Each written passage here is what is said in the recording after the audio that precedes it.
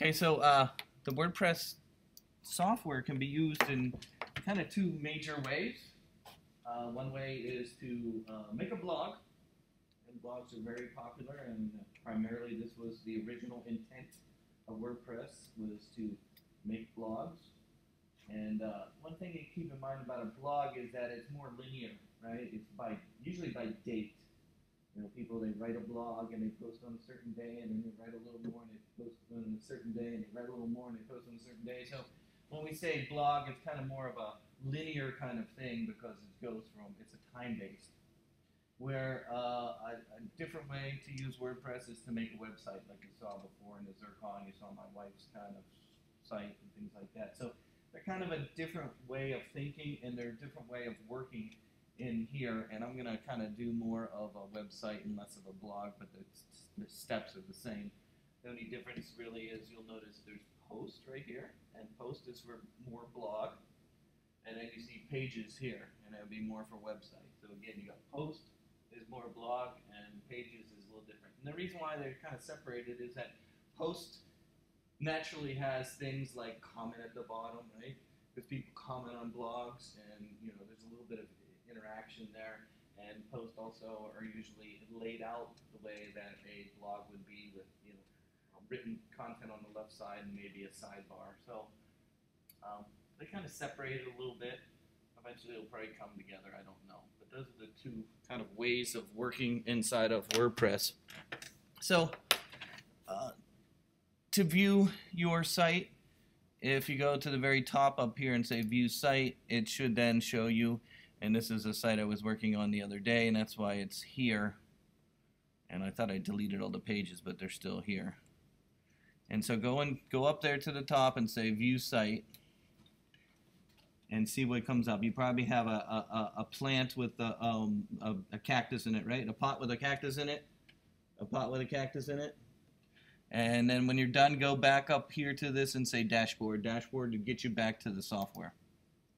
Like this Again, it's in the upper left corner. You see, you can view your site, and then you can go back to the dashboard. It's up here. And again, go back to the dashboard. And it probably said, um, what does it say? Welcome to my blog or something like that in there. Yeah. Okay. So to start making a site and uh, is is quite simple or making a page I meant is quite simple in this program in that you can you know just click on I'm going to go down down down down to where it says pages and I'm going to say all pages. And I have no pages because I deleted them but you probably have one that says about in there. So go down to where it says pages and say all pages and you probably have one that says about in there. Do you have one that says about yeah, okay. You you all have one that says about? Okay. I'm gonna make an about one. Okay, I will. Oh, yours says sample page? Yeah. Oh, okay. It's fine. Click on whatever one you have in there, and, and hopefully it goes to a screen that looks like this. Let me see.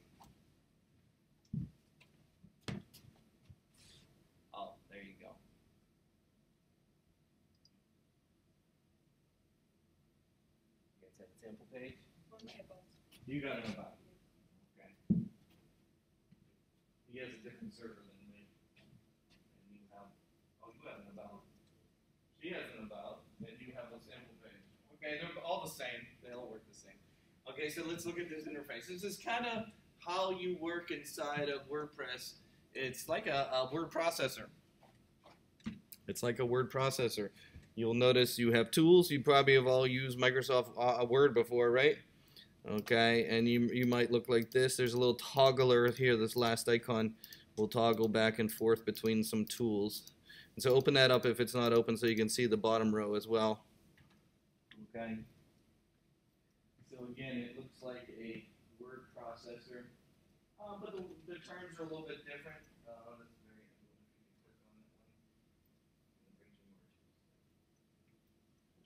so as you can see it uh,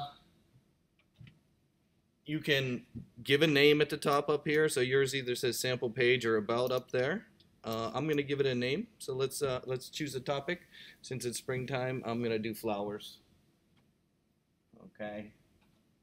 So my first page is gonna be called all about flowers. All about flowers. You can choose a topic. You don't have to. So, but think of one topic that you can build a site on.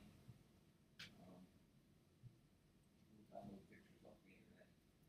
I'm just doing flowers. You might have your own Then down below here, this area down here, like I said, is more like a word processor. If you click down there, you'll see you have your iBar uh, flashing in there. And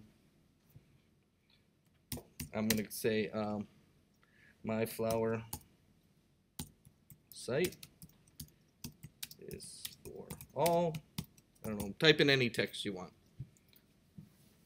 And let's talk about uh, returns. So just like in Microsoft Word, there's two types of returns that you can do in this program. One of them is a paragraph. If you just hit return on the keyboard, you'll notice the cursor flies down a little bit further than, you know, it's, it's down significantly. That's a paragraph break. Just like in Microsoft Word, if you hit return, it makes a paragraph break in Microsoft Word, right? Okay. To make a line break in Microsoft Word, so if I'm typing along, I like to plant flowers. If you want to make a line break, you hold the shift key down and hit return. Notice how the cursor does not go as far down. Just like in Microsoft Word, it's the same thing.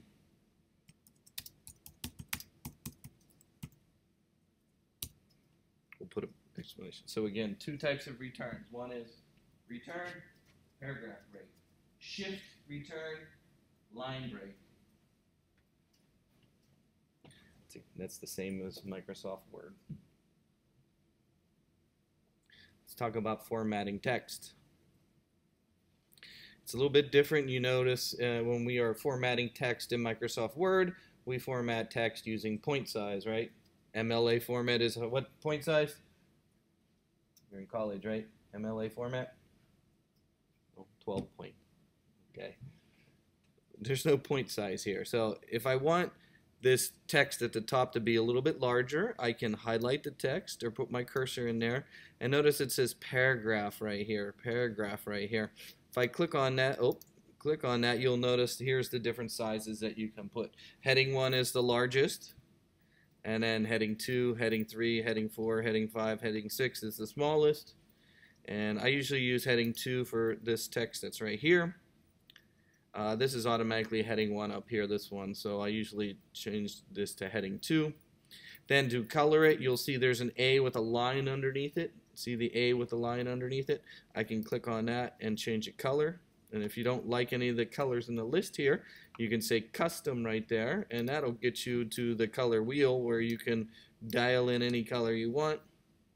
When we are choosing colors for a web page, you'll notice the color thing here with the pound sign and the crazy numbers here are called hexadecimal values and that's a common way of measuring colors on a website. You might have seen that before I don't know. Uh, again the colors are this one with the A on it. You just click there or you can choose from the list. If you want bold you can hit the B for bold. If you want italic you can hit the uh, I for italic. Okay you want strike through you can click that or you want to underline. Oh, no, we don't want that. Uh-oh. Uh-oh. I made two mistakes. Well, if you make a mistake, you'll notice there's one with a little arrow that points here. It says undo. And if I click on undo, it'll go back. So if you make a mistake, there is an undo. It's this little arrow right here.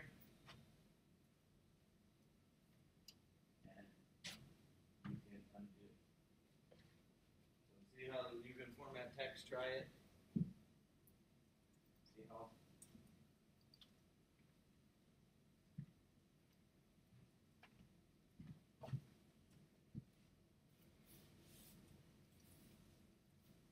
Next, if you want to, uh, I'm going to put my cursor down below a little bit further. I'm going to click here after some of my text, and I'm going to hit return on the keyboard, and it's going to jump down to a blank spot. Next one, I'm going to make a list. There's two types of lists inside of um, WordPress. The first one is uh, a bulleted list, and the second one is a numbered list. Of course, a bulleted list is usually where everything's kind of equal weight, where a numbered list is usually something that's going to be in order, right? One, two, three, four. I'm going to do the bulleted list. If I click on there, you'll notice it puts a bullet there, and the trees I like would be uh, pine tree, mm, pine tree, uh, apple tree, orange tree, and so on. So see if you can make, again, bulleted list or numbered list.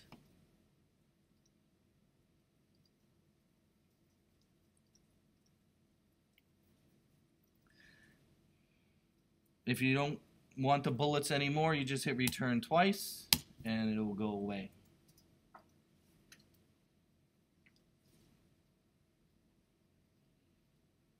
Next option in this list is the alignment. You'll see you got left align, center align, and right align. If I click in my text, if I want this text, my title up here of my page here to be aligned in the center, I could click my cursor in there. I don't have to highlight the whole thing. I just click my cursor inside there and then you can format. I'm going to say center and notice how it goes in the center of the page. Again, you got left, center, right, center, left, center, right, center, and so on.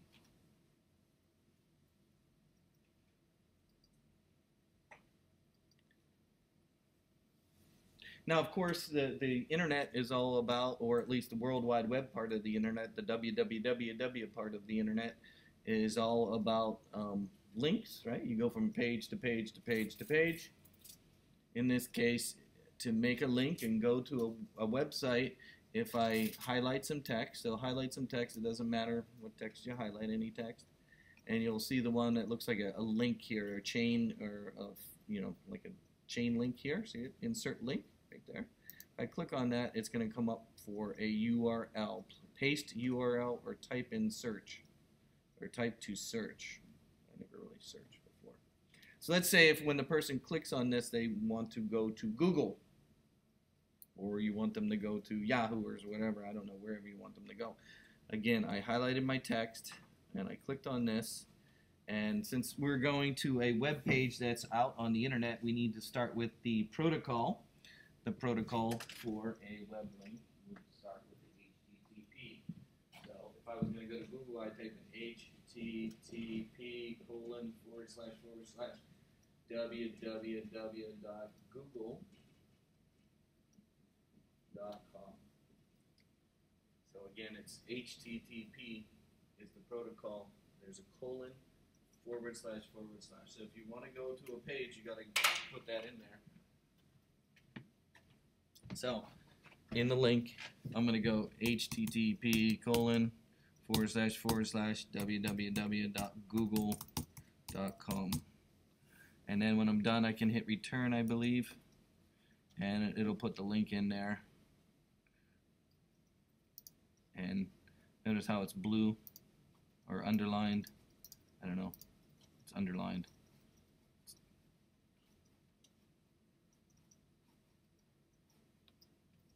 Can they do the same things in WordPress.com? Uh, Like? Yes. Uh huh. Yeah. So just sign up for your own WordPress.com. The free version, though, you're going to be limited. You can't use plugins on the free version WordPress.com. Okay. Can't do this. But all the things I've showed you so far, you can do on the free version of WordPress. And let's say uh, you want them to email you. How about that? So I'm going along, going along, and I'm going to go below here. I'm going to say email me, email me for more info.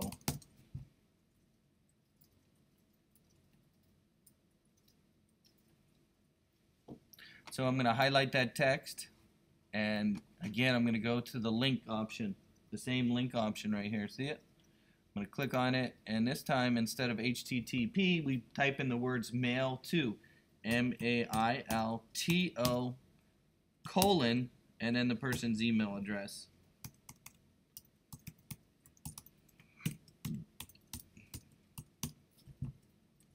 So again, M A I L T O colon and then the person's email address.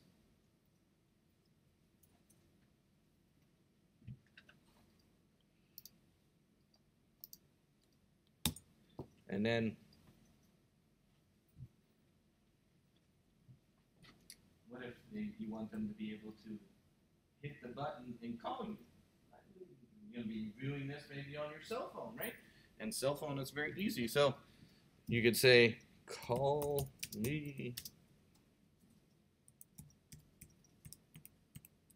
Put your phone number in there.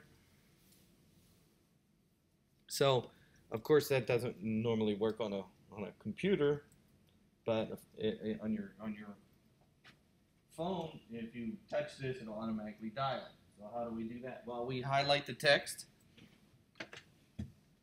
Highlight the text, and again, back to the same link. Okay, and it's going to be T E L colon, and then the person's phone number in there. So again, it's T E L colon, and then the phone number. And uh, again, if they're looking at it on their cell phone and they touch that, it'll automatically dial, and you'll be instantly connected. So those are very common things that you can do. Uh, some other ones you'll notice is indenting, special characters. This one will, will er- erase uh, um, formatting. So you notice I got this ugly green with uh, italic bold. If I don't want that anymore, I can use this to erase that. A tool. You just click on it and then click on that, and it'll go back to default. Uh, you saw the undo. Um, this one is a read more. You might have seen that on a blog before where there's a, um, a little text that says read more and you click on it, it opens up some more information. That's this one. I always mess that one up, so I don't do that one quite right. I think you need to. I. I always have problems putting that in. Um, this one's important, then let's go and copy and paste some text. Just like in Microsoft Word, you have a paste special right? You have a paste and a paste special in Microsoft Word. Paste will paste formatting. Paste special will you can paste without the formatting. I'll show you what I mean. Let's go to uh, let's hit return. I'm just making empty spot. I'm gonna go get some uh, text from Wikipedia. So I'm gonna go to the internet. Let me go open up a new page. I'm gonna open up a new page, new window, and I'm gonna go to Wikipedia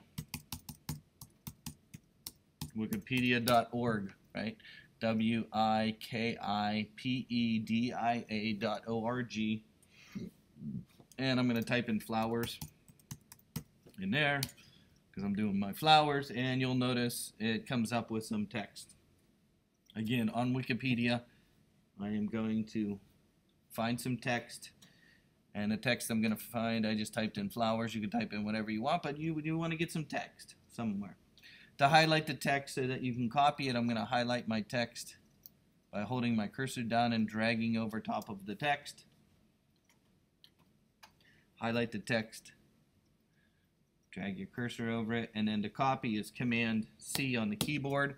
Or those of you who like using a mouse, you can right click and say copy as well.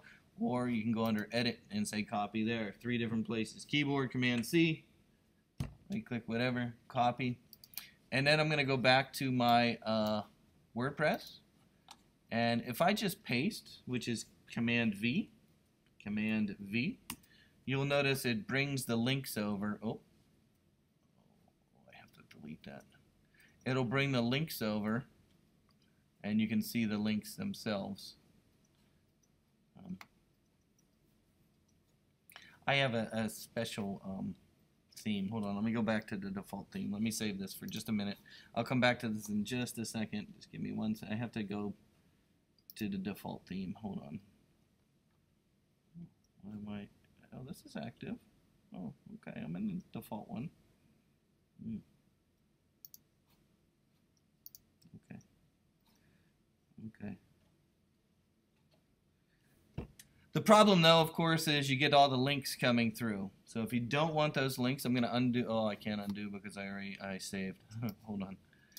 If you don't want the links to come, you want plain text or like paste special in Microsoft Word, uh, you'll notice there is a paste option right here. It's like a little clipboard with a T in it. If I click on that first and then paste my text, so I'm going to go back down here and paste my text, you'll notice it paste it without the links. It's like using paste special in Microsoft Word.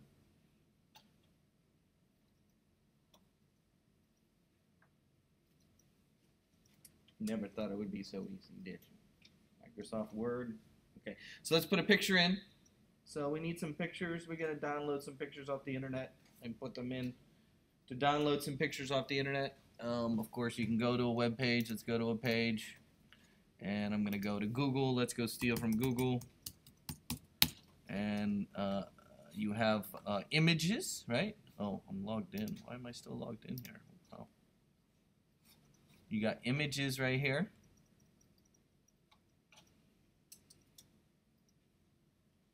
See it right there? So Google images, and I'm going to go find some flowers. Springtime. Oh, it's almost Valentine's Day, too. Coming up. Get your flowers. So I'm not going to click on these. These are ads up here, but I'm going to click down here. Now, when you roll your cursor over, you'll notice that some numbers pop up next to your flowers or your images. See the numbers popping up? Those numbers are referencing how big the picture is in pixels.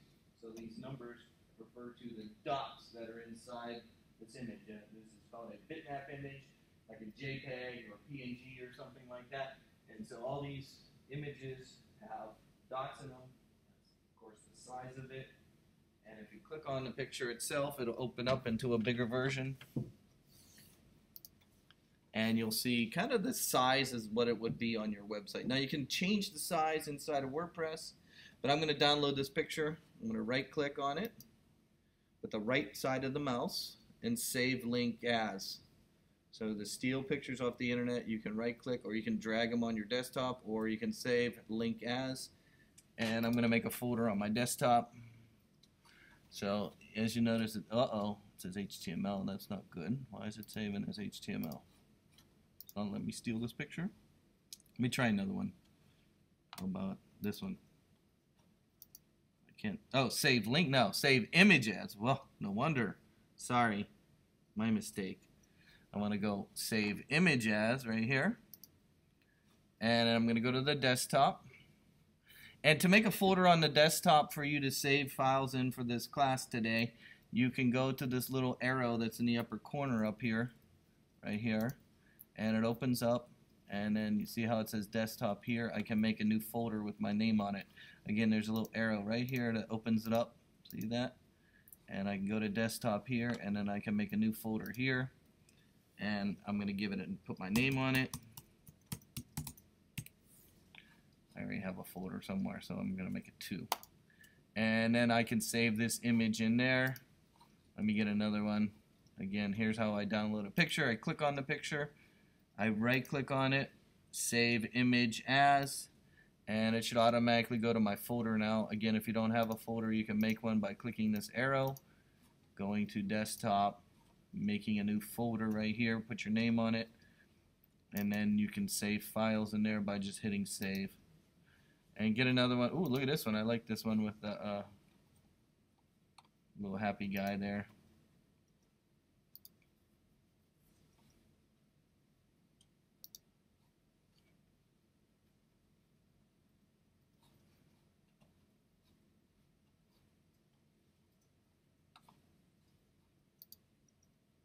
Oh, look at that one.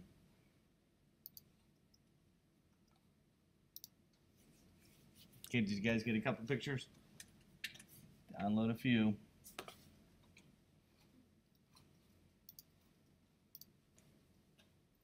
So if I go back to my WordPress page that I was working on, I'm going to put my cursor kind of at the beginning of my flower paragraph. See how my cursor is flashing at the very beginning of the flower paragraph there. I'm going to insert my photo here. Now, everything is stored in something called the media library. It's basically a folder which stores all your data. So if you have a picture, sound, whatever, it's going to be stored in the media. So to put the picture into your WordPress page, you'll notice it says add media up here at the top. And if I click on that, it's going to ask me, and I, I was doing cars before, that's why I have cars in there. I'm sure you don't have anything in there. And notice where it says upload files right here. And so I'm going to say upload file right here. And then I'm going to say select file here. And I'm going to go find my flower pictures, which are in my desktop in my folder. And I'm going to grab one of my flower pictures and say open.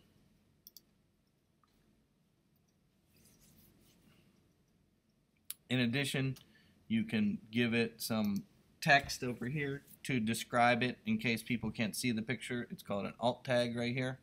And so you should put in an alt tag at least to tell a screen reader what this is because a screen reader can't see a, the image but it can see the text. So again, after I put a picture in here, it should show up in the media library right here. And I give it some alternative text here to help describe the uh, picture. And then when I'm done, I hit insert and it puts it in. But notice how my text goes flying down. See how my text goes down below my picture? So you can actually wrap the text around your picture by selecting the picture itself. And notice there's some options that pop up up here and I'm going to do left align right here, the first option. So again, after you put the picture in, if your text is put down, you can click the left align right here and the text will then align and that looks a lot better with the text being next to the photo, right? So see if you can do that. Again, left align. We'll put the text up next to the picture. And so, wow, we did a lot so far, didn't we?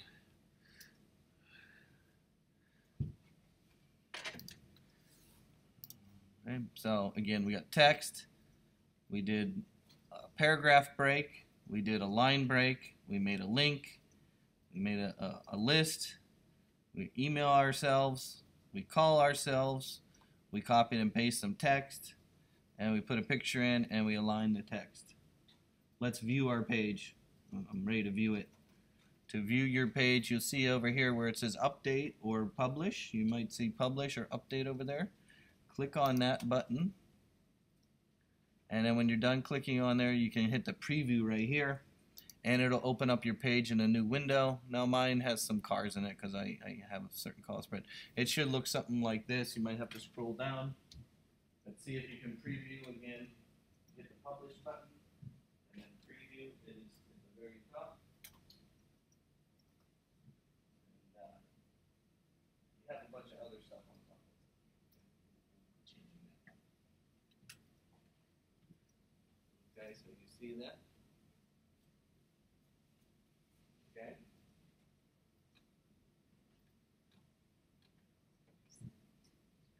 So again, it's kind of like a word processor. Try your link. Didn't I go have a link that goes to Google or something? Yeah, there it goes. Um, and so on. Let me stop this video.